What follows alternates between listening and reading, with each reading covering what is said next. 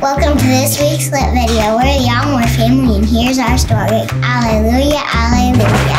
Mom left the room, so can you help me uh, read, read the directions? Isaac, you can help me. It, this way gets stuck.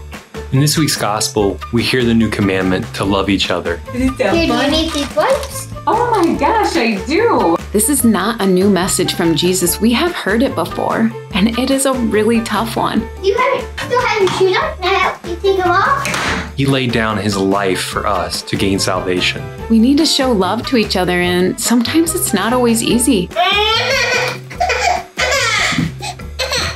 Open back.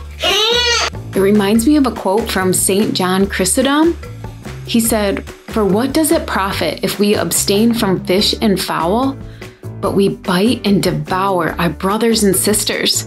I have seen all your sacrifices today with all your brothers and your mom. I can tell you love them so much by how you've been treating them. Right? Mhm. And they love you so much, and we love you so much. Come here.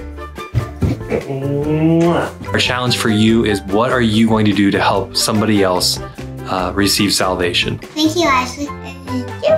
Thank you so much. Join us in this great adventure of family. I love myfamily.us. And we'll meet you in the Eucharist this Sunday.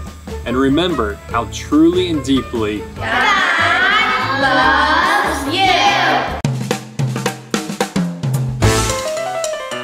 Oh, he's gone.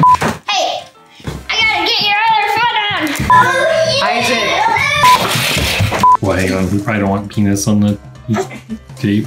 At the station, Keefy's little ones are hot and weeping.